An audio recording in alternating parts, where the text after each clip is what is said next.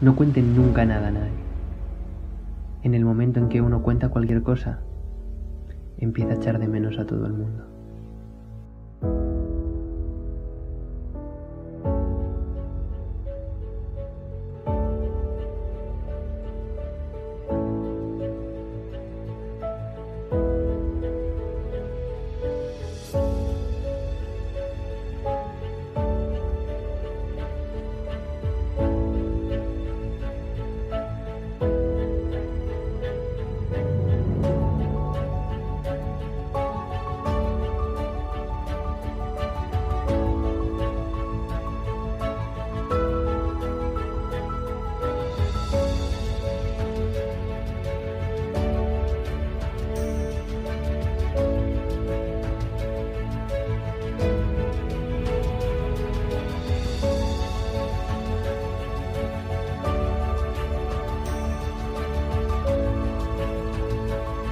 Muchas veces me imagino que hay un montón de niños jugando en un campo de centeno, miles de niños, y están solos.